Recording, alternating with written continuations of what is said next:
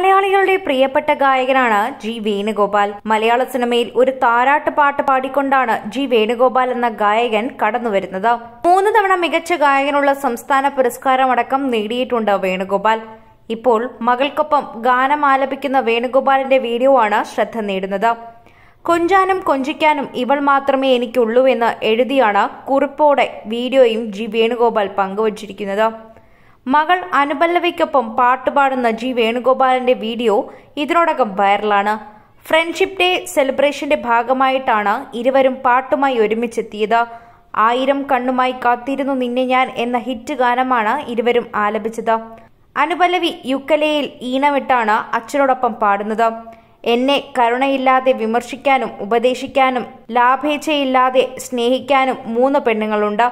എന്റെ അമ്മ എന്റെ ഭാര്യ മകൾ ഇക്കൂട്ടത്തിൽ കൊഞ്ചാനും കൊഞ്ചിക്കാനും ഇവൾ മാത്രമേ എനിക്കുള്ളൂ. അമ്മുവും ഞാനും അമ്മുവിന്റെ യൂക്കലയും. എന്ന് കുറിച്ചുകൊണ്ടാണ് വേണുഗോപാൽ വീഡിയോ പങ്കുവച്ചിരിക്കുന്നത്.